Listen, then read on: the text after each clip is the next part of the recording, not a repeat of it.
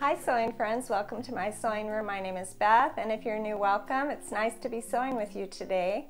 Today I'm challenging myself to see what I can make out of this little bag of scraps that was given to me. Black and white half square triangles mostly. And there were a few other little squares that I'm going to see if I can squeeze in there too. I need to make some table toppers for an upcoming retreat auction and I thought this would be the perfect little project, see what I could squeeze out of this little bag of scraps. So let's see how many of the pieces I can use, how many will be left over. Let's get started. Here is the little baggie that held all these little mystery squares. I'm going to call them because I don't know if they were leftovers or if they were the beginning of a project.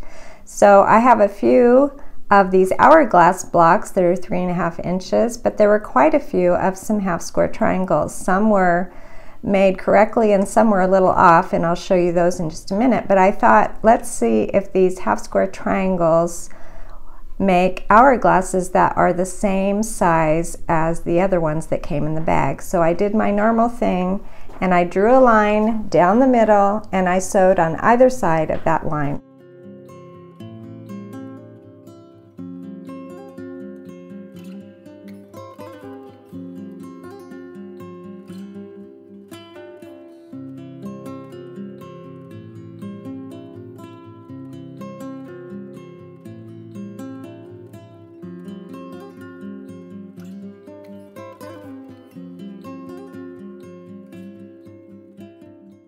Once I had pressed the hourglass blocks, I checked to be sure what size they were. I thought if they're not the right size, I could even trim down these hourglass blocks that were already pre-made, but they were really, really close. So I just trimmed off the tiniest bit and we were good to go.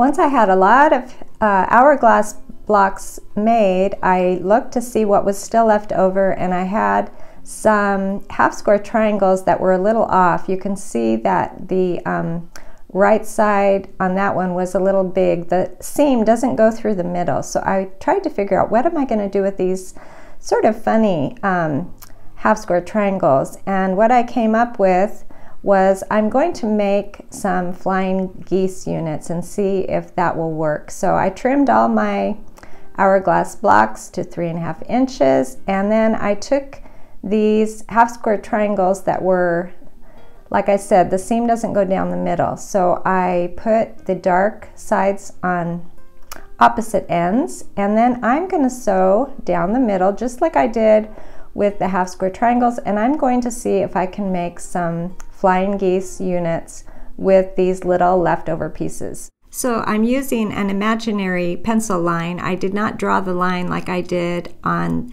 the first one I did with you, but I, it's the same concept. I, I kind of imagine a line going through the middle and then I cut right along that line.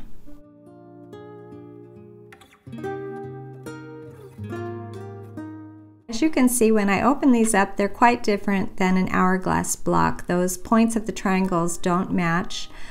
So what I did is I aimed for the center and it was about a quarter inch away from each of the tops of those triangles. So that gives me enough room to put a seam in and not lose the point of my triangle.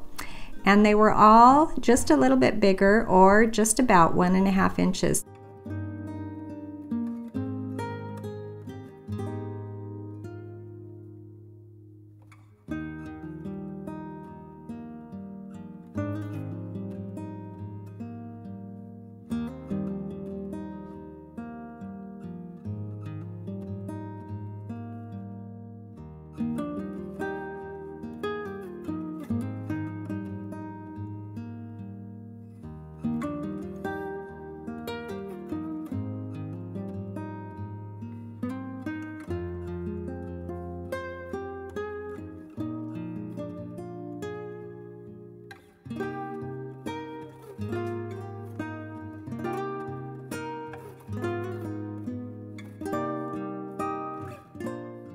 And as you can see here, some of these units have a light triangle and most of them had a dark triangle, but I'm still gonna see if I can use these with the light triangles. And um, I didn't make that many. I think there were only 12 of these little tiny pieces. And I'm gonna see how I can add them to my table mat.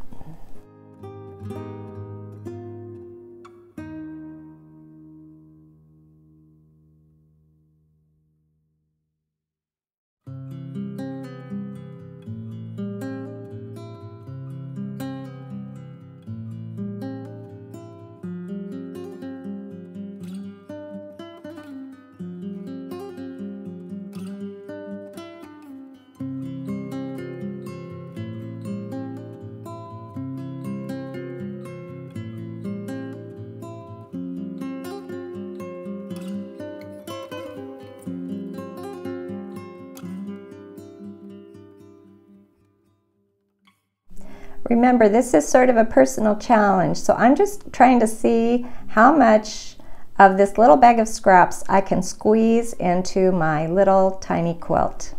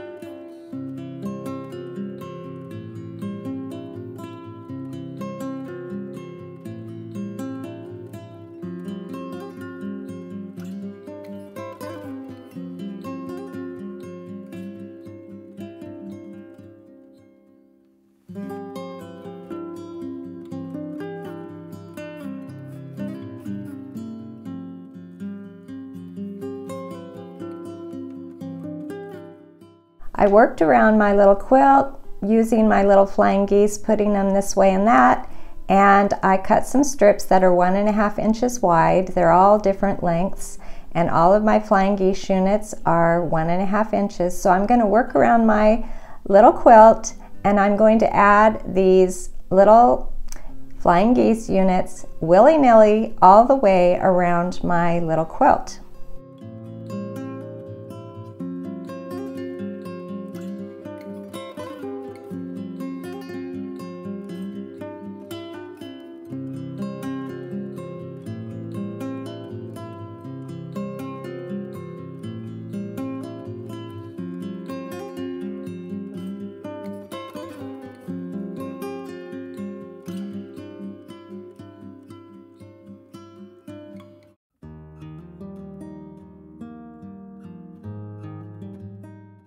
This was a really fun way to use up every last bit. So I worked one side at a time and I just attached that long strip to the first side and then I just kept doing the same thing all around this little table mat.